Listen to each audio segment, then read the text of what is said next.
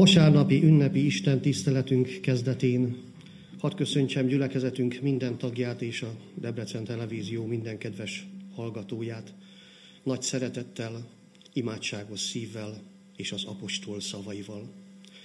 Kegyelem nékünk és békesség Istentől, a mi atyánktól, és a mi üdvözítő Urunktól, Jézus Krisztustól, a Szentlélek közösségében. Amen. Vasárnapi ünnepi Isten tiszteletünk kezdetén fennállva énekeljük el a 42. Zsoltár első versét. A 42. Zsoltár első versét énekeljük, amely így kezdődik, mint a szép híves patakra a szarvas kívánkozik.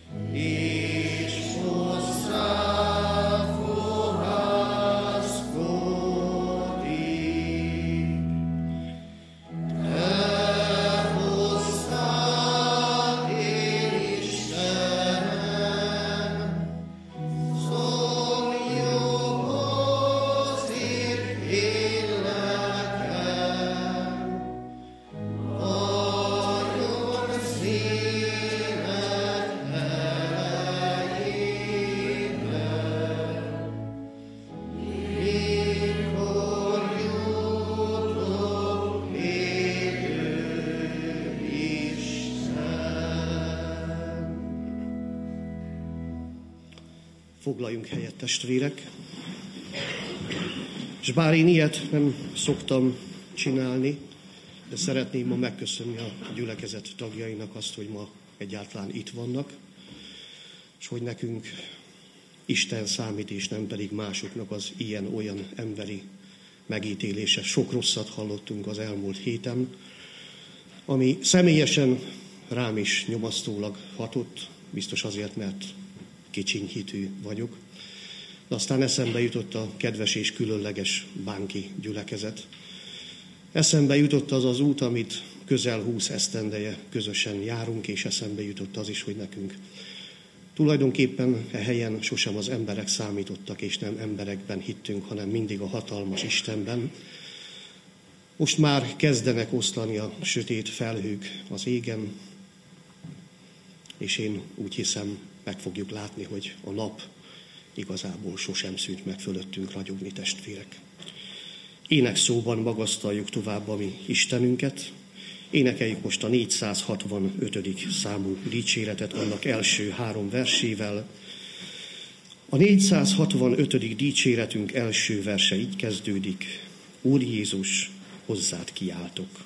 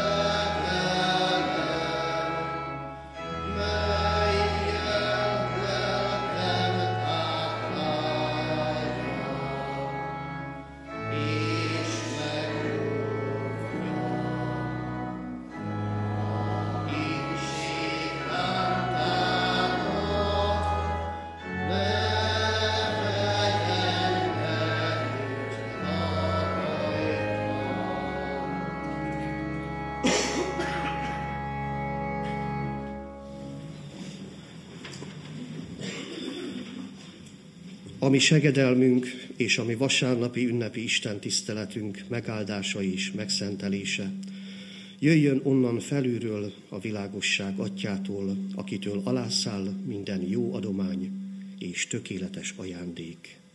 Amen. Hallgassátok meg, kedves testvérek, ünneplő keresztény gyülekezet, ami Istenünknek hozzánk szóló szent igéjét, úgy, amint azt ma előttetek felolvasom Ézsaiás próféta proféciás könyvének 58. részéből, annak mind a 14 verséből Isten égéjének a felolvasását a gyülekezet tagjai áhítatos figyelemmel, buzgó szívvel, helyüket elfoglalva hallgassák meg.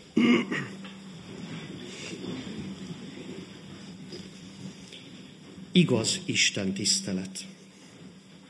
Kiálts, ne sajnáld a torkod. Harsogjon hangod, mint a kürt.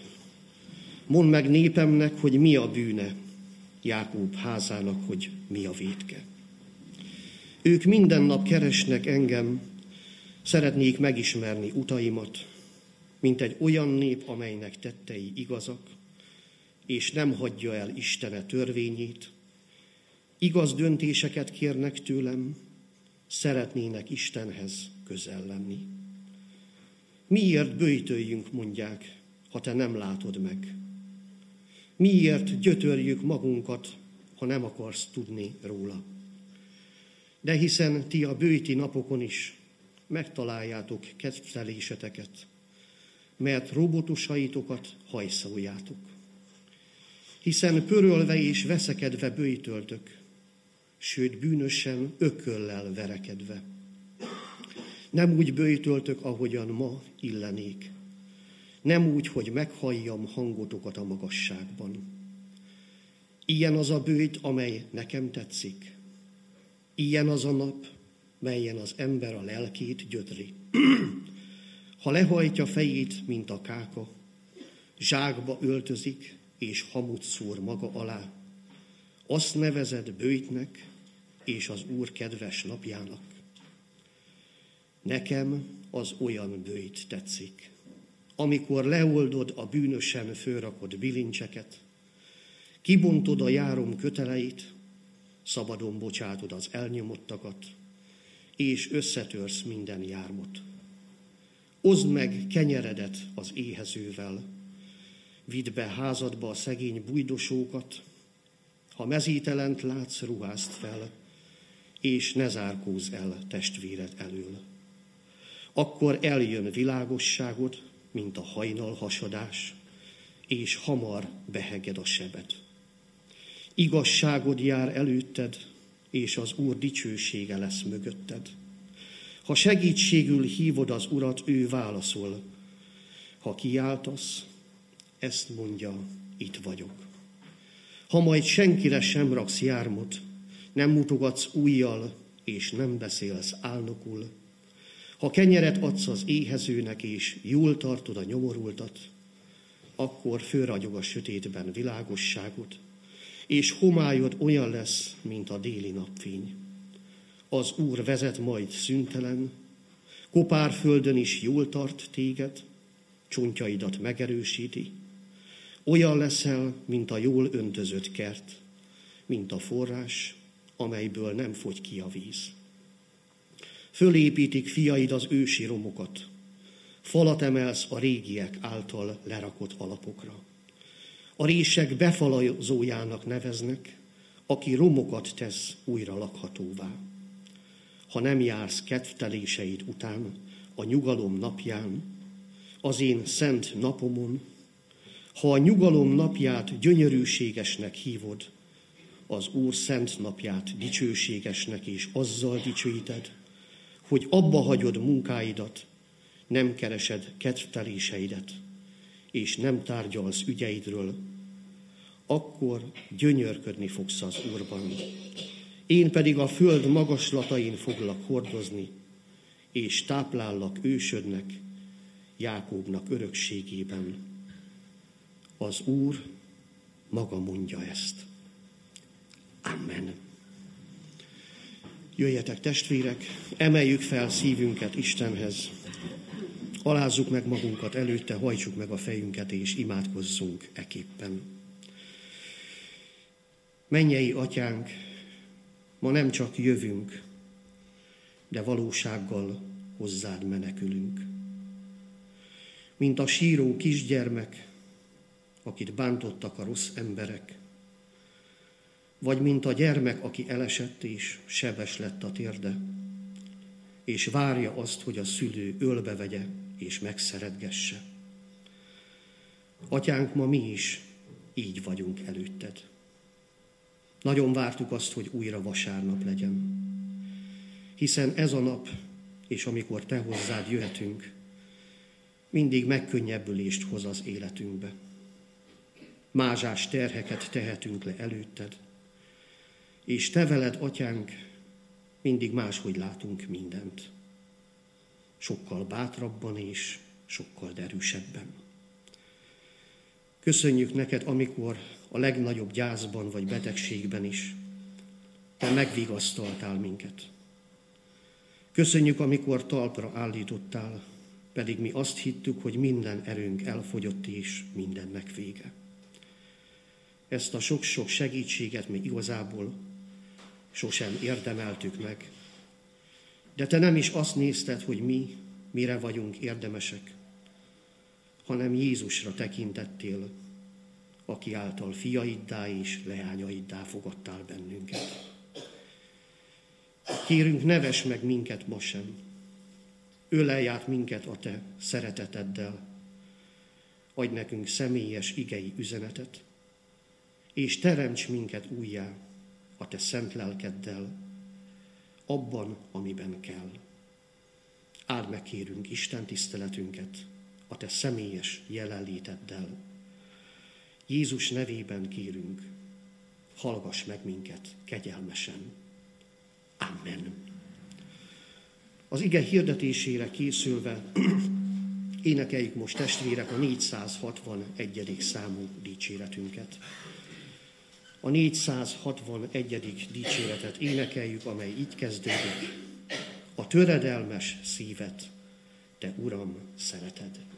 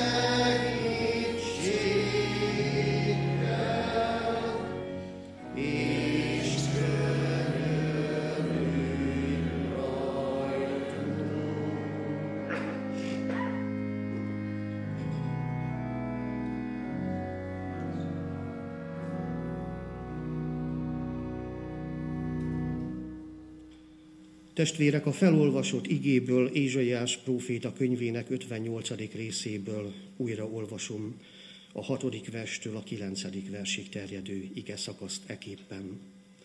Nekem az olyan bőjt tetszik, amikor leoldod a bűnösen fölrakott bilincseket, kibontod a járom köteleit, szabadon bocsátod az elnyomottakat, és összetörsz minden jármot.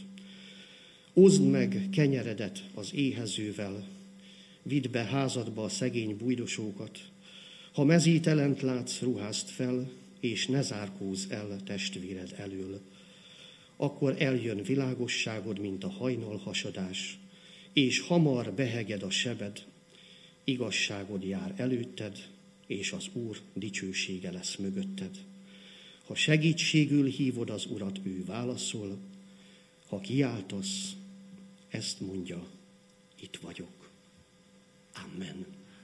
Foglaljunk helyet.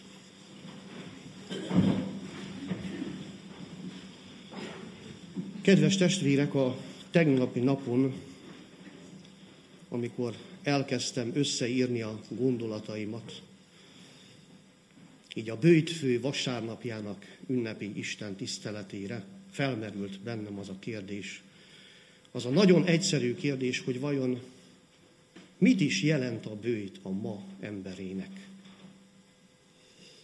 És hát mit tesz ilyenkor a lelkész, aki felkészült akar lenni ebben a tekintetben, felmegy az internetre gyorsan, beírja a keresőbe azt a szót, hogy bőjt, semmi többet is rákeres.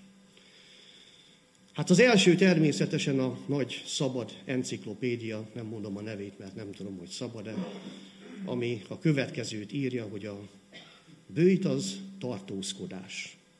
Az ételtől, az italtól, és bizonyos tevékenységektől. Na persze, utána jött még néhány hasznos recept, meg egy-két fogyókúrás tipp, hogy hogyan is kell hatékonyan méregteleníteni.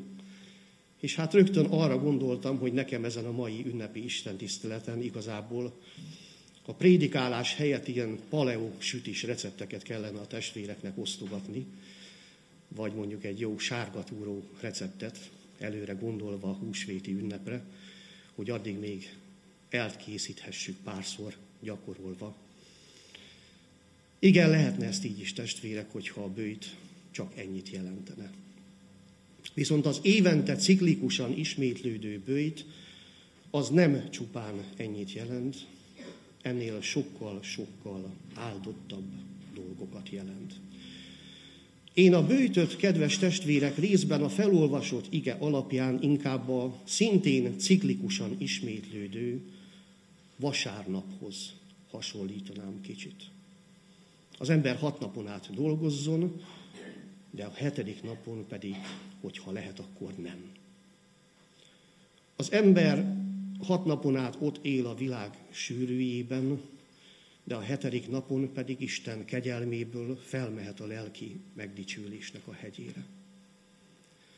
Az ember hat napon át önmagával van elfoglalva, de a hetedik napon az isteni rend lehetővé teszi számára, hogy az Istenre figyelve az Isten hangját meghallja. A bőjt is ugyanezt jelenti, kedves testvérek. Az ember tehet másképpen és élhet máshogyan, mint ahogy egyébként szokott. Ennek jegyében az ember használhatja először is az úgynevezett mínuszjelet. Akár el is vonhat magától valóban bizonyos dolgokat, amiket máskor fogyaszt, amiket máskor csinál, azért, hogy ilyenkor ne csinálja és ne fogyassza. Vagyis mit tesz ilyenkor az ember? Megüresít és elvesz. De pontosan ezért szükséges, hogy ezzel együtt az ember használja a plusz jelet, azért, hogy hozzá tegyen. Hogy a megüresedő helyet betölthesse értékes lelki kincsekkel. Isten gyermeke, kedves testvérek, ezt annak jegyében teszi évről évre, hogy Isten előtt bűnbánatot tartson és megtisztuljon, hogy az élete keresztjénibb élet legyen, hogy az élete Isten szemében kedvesebb legyen, és hogy az élete Isten kezében hasznosabb és áldottabb eszköz lehessen. No, de fontos kérdés ennek a mai Isten tiszteletünknek, hogy egyáltalán mi az, ami kedves. Isten szemében. Hát drága testvérek, valaha réges-régen, még Mózesnek az idejében, Isten kinyilatkoztatta az ő legfőbb akaratát az embereknek, amikor ezt mondotta, Sömá Izrael, halld meg Izrael, az Úr a te Istened. Szeresd az Urat, a te Istenedet teljes szívedből, teljes lelkedből, teljes elmédből és minden erődből, és aztán pedig szeresd a te fele barátodat úgy, mint magadat. Vagyis Isten már az ősi időkben elmondotta azt, hogy ő a szeretet cselekvésében leli leginkább örömét. Isten ezt utána is folyamatosan, időről időre, mint ebben a most felolvasott Ézsai, Ézsaiási igében is nyomatékosította. Majd pedig eljött az idők teljessége, amikor az eljött és megszületett Isten fia, az Úr Jézus Krisztus, ezt az isteni nevezzük elvárásnak, végérvényesen nyomatékosította. Nem azért mondom ezt, drága testvérek, mert Jézus maga is ezt a parancsolatot tartotta, úgymond a legfőbb parancsolatnak, hanem azért mondom ezt, mert Jézus küldetésének szintén ez volt a mottója, Jézus életének ez volt a legfőbb titka. Az, ő azért jött el erre a földre. Azért segítette fel az elesetteket, gyógyította a betegeket, támasztotta fel a halottakat, mert szerette ezt a világot, és benne szeretett bennünket. Mert tudta azt, hogy Isten a szeretet cselekvésében leli leginkább örömét. A szeretet cselekvésében, és nem pedig az elméleti kereszténységben. Segíteni, áldozni és szeretni. Én ebben a három szóban, ebben a három nyomatékos szóban, drága testvérek, ezt a mai igét alapvetően össze is tudnám foglalni. Nekem az olyan bőjt tetszik, mondja Isten Ézsaiás próféta könyvének 58. részében, vagyis ebben a most fölolvasott igében, amikor leoldod a bűnösen fölrakott bilincseket, kibontod a járom köteleit, szabadon bocsátod az elnyomottakat, és összetörsz minden jármot segíteni, áldozni és szeretni. Istennek magyarul az ilyen bőjt tetszik. Segíteni, áldozni és szeretni viszont csak az az ember képes, akinek van ilyen, hogy is mondjam, samaritánus szíve. Alapból testvérek, hadd mondjam így, nem ilyen az embernek a szíve, mert nem ilyennek született. Ezt a szívet csak Isten adhatja ajándékba mindenkinek. Aki a kőszívet ma is húsz szívé változtathatja, hogyha akarja, de akarni csak akkor akarja, hogyha ezt vele együtt mi is akarjuk, hogyha ezt várjuk tőle is, hogyha ezt kérjük tőle. Ezért hadd kérjek most mindenkitől valamit, testvérek. Az elkövetkezendő 40 napban, amikor majd bőjtölni fogunk és imádkozni, Jusson majd eszünkbe ez az ének, és hogyha tegyük fel, senki sem hallja, csak az Isten, akkor akár énekeljük is el, hogy új szívet adj, Uram, én nekem. Új szívet adj, én Istenem, amely csupán csak te érted s véled jár szüntelen, csak véled szüntelen.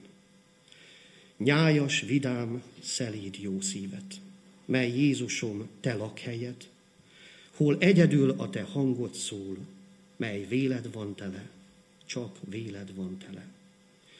Jézus a te gyógyító kezed, megfogta már szívemet, és én is tudom, bűntelen leszek, majd nálad odafenn, a mennyben odafenn. Mivel ma Istennek hála sokan vagyunk itt a templomban, meg lehet, hogy úrvacsora közben is rákerül majd a sor erre az énekre. Ez egyébként a 725. dicséret az énekes könyvünkben. Új szívet adj, Uram, én nekem, ami még többet tud neked segíteni. Ami még többet képes másokért áldozni, és ami még jobban képes másokat szeretni. Oszd meg kenyeredet az éhezővel, folytatódik az ige. Vidd be házadba a szegény bujdosókat, ha mezítelent látsz, ruházt fel, és ne zárkózz el testvéred elől. Olvastam egyszer valahol, drága testvérek, hogy a világháborút követően Magyarországon is, ahogy a legtöbb háború sújtotta országban, tömve voltak mindenfelé az árvaházak. Volt vidéken egy árvaház, ahová minden nap csapatostól jöttek a külső gyermekek, hát hogyha ők is bekerülhetnének belőle, vagy hogyha ezt nem, akkor legalább kaphatnának egy kis élelmet. Viszont a vezetőnek minden nap el kellett küldenie őket, mert fogytán volt az árvaháznak a pénze és a készlete.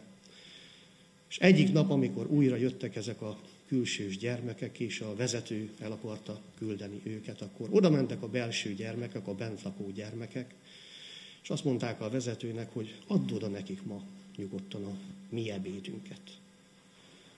És a vezető azt mondta nekik, de akkor ti fogtok majd éhezni. Ők pedig azt mondták erre, hogy nem baj. Akkor többet fogunk játszani, és nem fogunk az éjségre gondolni.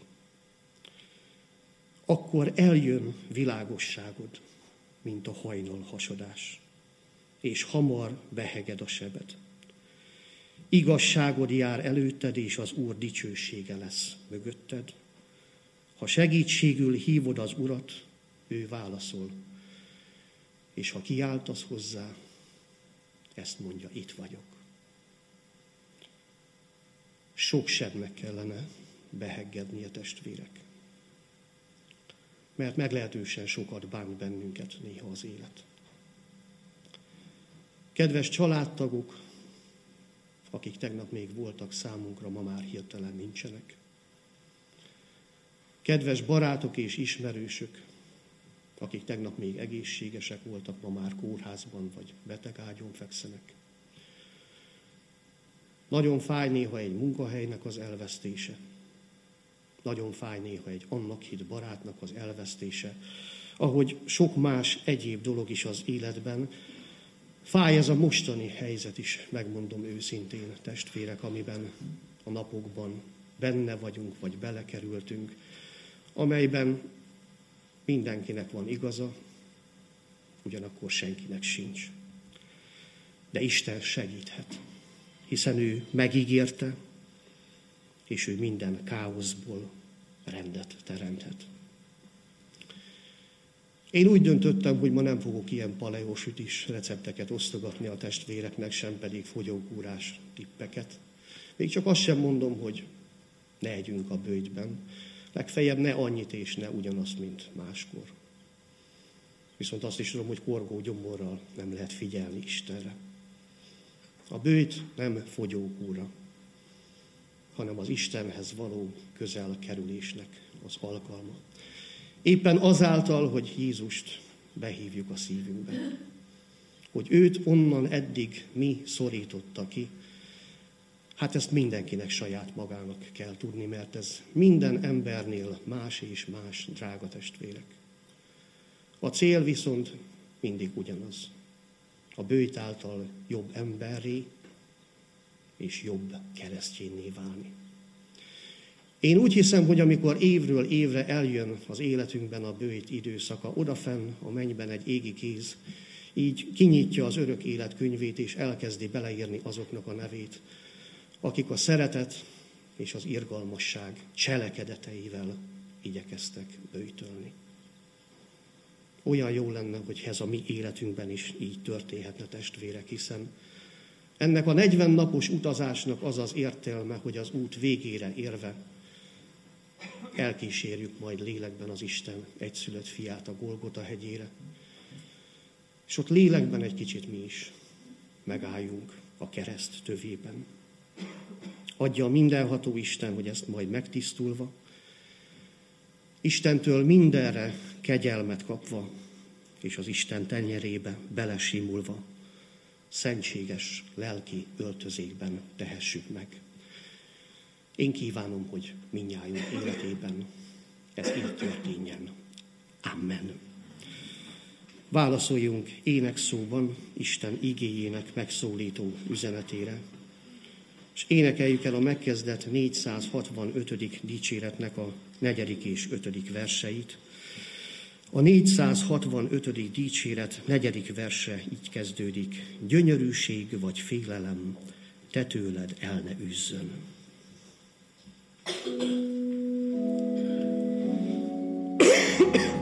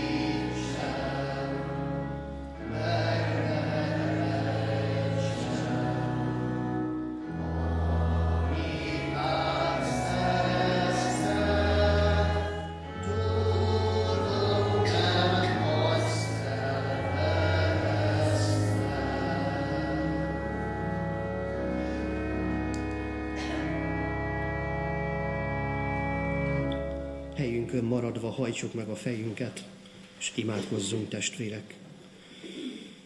Köszönjük neked, atyánk, hogy világos bőti programot adtál elénk.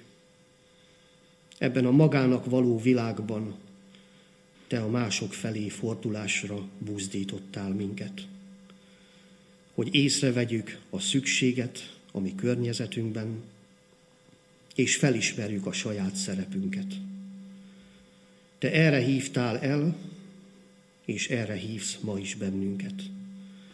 Hogy az Úr Jézus erejével, apróbb és nagyobb dolgok által életsorsokat változtassunk meg. Olyan sok rosszat kell ellensúlyoznunk, Urunk, mert olyan sok a rossz akarat, a romboló szándék és az aberráció ebben a világban – Kérünk, atyánk, leplez le minden olyan szándékot, ami ártó szándék. Kezeskedj a te egyházadért, ami most bajba került. Adj bölcsességet és alázatot a vezetőinknek, és adj ébredést, hogy felébredjenek a szunnyadó emberi lelkek. Imádkozunk hozzád most is a gyülekezetünkben, a gyászolókért, a betegekért, a kórházban levőkért, a kezelések alatt állókért, a szegényekért, az elesettekért és az özvegyekért. Kérünk, áld meg és segítsd meg őket. Kérünk, vigyázz a mi gyülekezetünk, egyházunk és nemzetünk egységére. Áld meg ezt a teremtett világot, hogy elhallgassanak végre a fegyverek. hogy szűnjön meg a békételenség, és növekedjen a békesség. Atyánk, legyen meg mindenben a te szent akaratod. Imádságunkat kérünk, hallgassd meg. Szent fiad, az Úr Jézus nevében kérünk. Amen. Jöjjetek most fennállva közösen mondjuk el a mi Úrunk Jézus Krisztustól tanult imádságot. Mi atyánk, aki a mennyekben vagy, szenteltessék meg a te neved. Jöjjön el a te országod, legyen meg a te akaratod, amint a mennyben, úgy a földön is. Minden napi kenyerünket add meg nékünk ma, és bocsáss meg védkeinket, miképpen mi is megbocsátunk az ellenünk védkezőknek. És ne vigy minket kísértésbe, de szabadíts meg a gonosztól, mert tiéd az ország, a hatalom és a dicsőség mindörökké. Amen. Hirdetem a gyülekezetnek az adakozás lehetőségét, tudván azt, hogy minnyáján abból adunk, amit Istentől kaptunk. Most kérem a gyülekezetet foglaljon helyet, és minek utána a mögöttünk lévő időkben ígéret tétetett számunkra arra, hogy ha Isten kegyelmes hozzánk, megőrzi és megtartja a mi életünket, akkor ezen a mai ünnepi Isten tiszteleten bőjtfő vasárnapján megterítetik számunkra a kegyelem asztala, most az úrvacsora sákramentumának kiszolgáltatására készülve keressük meg és énekeljük a 363. dicséretet. A 363. dicséretnek az első verszakát énekeljük el. Hallottuk Jézus, miképpen hívogatsz. thank you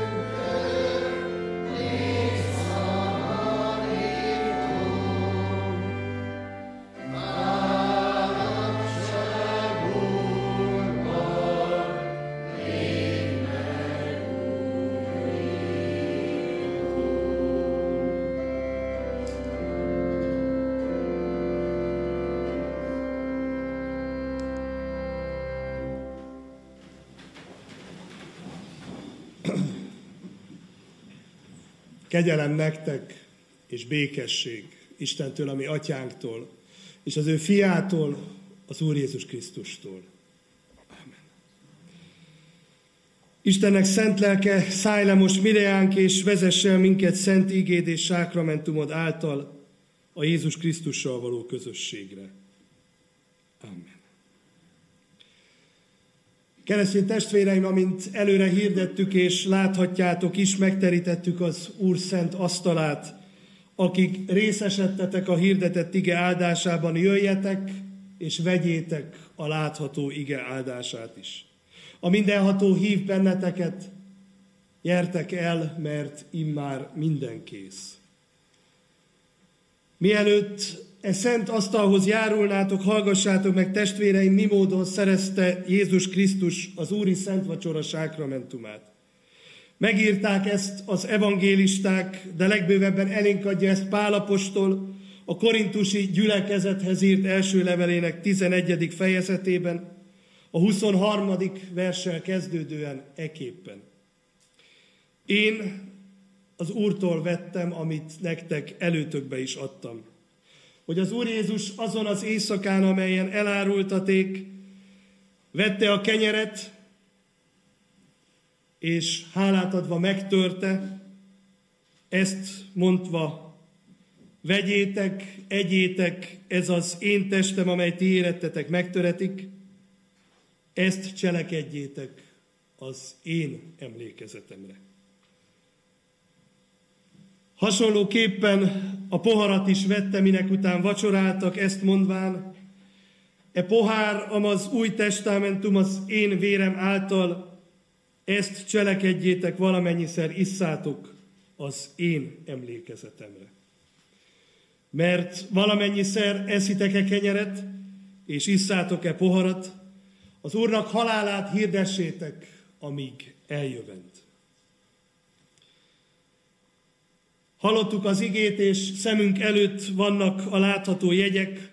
Az Úrnak halálát hirdeti, és annak jótéteményét kínálja nekünk, hogy felkészítsen minket az ő visszajövetelére. Próbáljuk meg azért magunkat, és adjunk hálát Istennek az ő megtartó szeretetért. Jöjjetek, valljuk meg bűneinket imádságban. Nagyok és csodálatosak a te dolgaid, mindenható Isten. Igazak és igazságosak a te utaid, ó szentek királya. Ki ne félne, Uram, és ki ne dicsőítené a te neved, mert csak te vagy egyedül szent. Köszönjük, hogy irgalmasságra indult atyai szíved, és elvégezted a teremtett világ megváltását, és megszabadítottál minket a bűn és halálrabságából. Úr Jézus Krisztus Istennek báránya, áldott légy, hogy elhordoztad a világ bűneit, méltó vagy, hogy tiéd legyen az erő, a gazdagság, a bölcsesség, a hatalom, az igazság, a dicsőség és az áldás. Istennek szent lelke, köszönjük, hogy jelen vagy közöttünk, és a szent vacsora jegyei által emlékezetünkbe idézed megváltó Urunk érettünk hozott áldozatát. Légy segítségül nekünk abban, hogy eljussunk a bűnnyomorúsága miatti megszomorodásra, és így imádkozhassunk. Könyörülj rajtam, én Istenem, a te kegyelmességed szerint, és töröld el bűneimet. Tiszta szívet teremts bennem, és az erős lelked újítsd meg én bennem. Amen.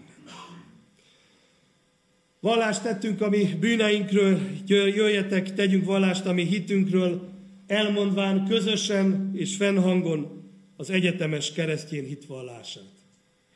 Hiszek egy Istenben, mindenható atyában, mennek és földnek teremtőjében.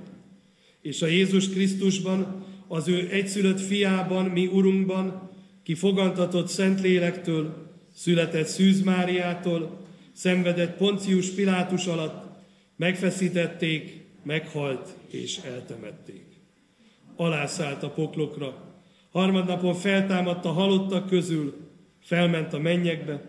Ott ül a mindenható Atya Istennek jobbján, onnan jön el ítélni eleveneket és holtakat. Hiszek szent lélekben. Hiszek egy egyetemes keresztjén anyaszent egyházat, hiszem a szentek közösségét, bűneinknek bocsánatát, testünknek feltámadását és az örök életet.